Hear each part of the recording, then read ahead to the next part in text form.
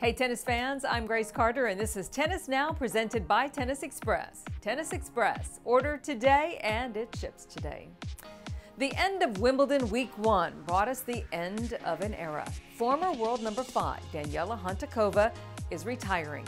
The 34-year-old Slovak won 570 career matches, seven singles titles, including a couple at Indian Wells, and she earned more than $10 million in prize money during a successful career that began in 1999. Daniela also completed the career Grand Slam in mixed doubles and reached the 2008 Australian Open semifinals in singles, falling to Ana Ivanovic in three sets.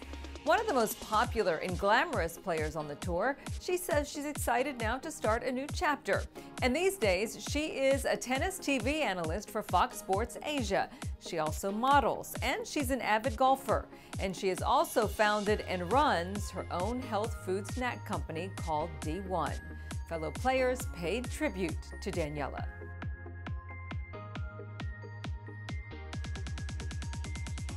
In other news now, big changes at the U.S. Open this summer when Grand Slam tennis enters a new time zone. Looks like the U.S. Open plans to experiment with a shot clock this August, a much talked about 25 second shot clock between points. Currently, Grand Slams have a 20 second rule between points, while tour events have 25 seconds. The U.S. Open says the clock is going to do a couple of things. Number one, speed up play and reduce toweling off and stalling between points. And number two, enforce a five minute warm up rule and a three minute medical timeout rule.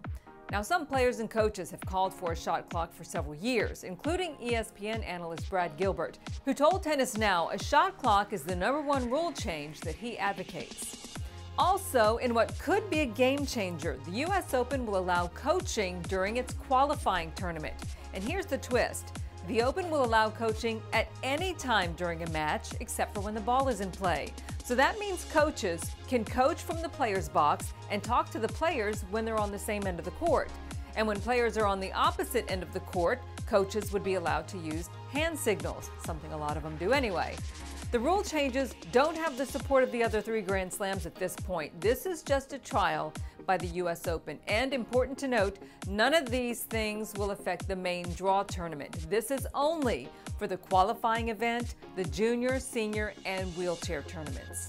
There is some concern that the vocal New York City crowd may get involved counting down along with the shot clock, which is one of the reasons officials want to test it out first. The Open is going to give the chair umpire some discretion on this matter. He'll get to decide when to start the shot clock. So if the crowd is unusually rowdy, the chair umpires can wait for crowd noise to subside before they actually start that shot clock.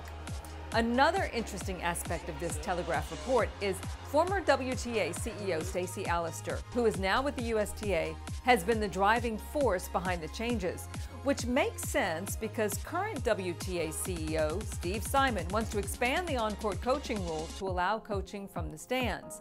Tennis Now examined both sides of this debate just a few weeks back, so check out our news videos for more on that topic. Boredom, as it turns out, can be costly. Just ask Bernard Tomic, who has explained his lack of effort in his first round loss at Wimbledon, saying he was bored. Well, that didn't go over well with the ITF, which hit Tomic with a $15,000 fine. Seems Head didn't like it much either, so Bernie's racket sponsor dropped him. Head says it's extremely disappointed in Bernie's attitude. It doesn't represent their company at all. His fine from the ITF, though, was also because he called for a trainer and then later admitted he wasn't actually injured. So that $15,000 is going to be deducted from his Wimbledon prize money. And here's the kicker Bernie says he's going to appeal that decision because he thinks it's not fair. Well, Novak Djokovic, also a Head endorser, sometimes practices with Tomic. He says Head was right to drop Bernie because his actions just don't send a good message to the kids. But he also says that Bernie's going through a rough patch right now and needs a little support. And did you hear about this one? Daniil Medvedev hit with a $14,500 fine for tossing coins at the chair umpire after he lost a match. He did apologize later, and he called his actions a stupid thing to do. Wonder if he thinks his fine is fair. And finally, we all know Roger Federer is beloved in the tennis world. But one male fan took his devotion to a whole new level, shouting out a marriage proposal during Roger's opening round win.